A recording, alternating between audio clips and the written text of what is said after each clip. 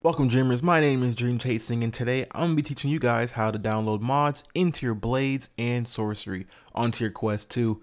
Notice how I didn't say Nomad because you can actually get the original Blades and Sorcery onto your Quest 2. Before we begin, you're going to need to download this thing called WinRAR. It basically makes it so you can extract encrypted files um, I will be putting the link down in the description below so it's easier for you guys to just click on it and download it. So first you're going to want to go to Google and you're going to type in here nexusmods.com and you want to click enter on that. Now that you're here, you might need to actually create a profile. So you go to the top right corner and just click sign up. After you create an account, you want to click the Nexus mods to get back to the home page like so and then you click browse all files. Now that that's loaded up, you want to click on games, type in Blade, and then you'll see Nomad and Blade and Sorcery.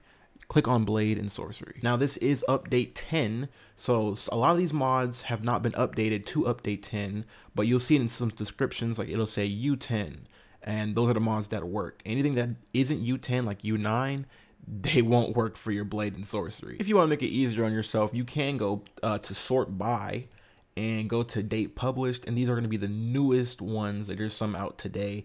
Going to be the newest mods out right now. There is a mod right here. I'm just going to click on this and download it. So you go to manual and you want to click on slow download. Unless you're big banks, you want to click on slow download because this fast download actually costs money. Once your file is done getting downloaded, just click this little arrow and you want to click show in folder. Now you'll see it right here. WinRAR makes it so you have like these little books um, icon coming up and you want to right click. You go down to extract files right here. Just press OK. WinRAR will handle all this. All you want to do is press OK. Now that you press OK, a file will come up with the name of the mod and you have another one right here. So you want to click on the new file, double click on that. You see how it put us into another file that says the same thing. You want to be one file deep or the mod will not work. So when you click on it, you see how you have the contents of the mod. So just go back once and you this is the file right here that you want to copy. So you want to copy this, then you can exit out and you can exit out or you can minimize this tab right here. You want to right click anywhere on your screen and you just want to press paste. So now you have this, keep this here for later. This will be important. Now that you have this pasted here, click on Oculus, let that load in, go to library, and the game that you want the mod for is Blades and Sorcery.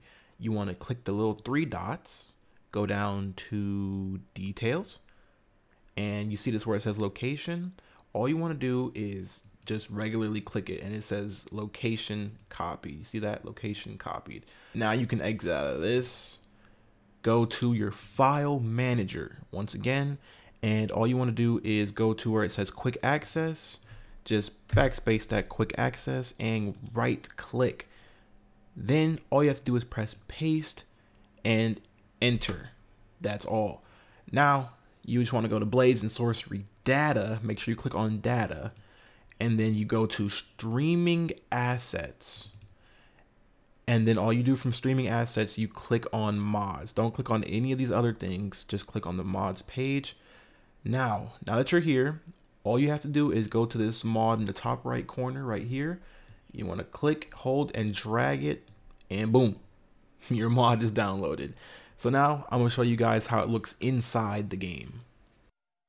Once you load into the game, all you want to do is come over to the little book and you just want to click on swords and boom, there it is. Your freshly installed mod in Blades and Sorcery.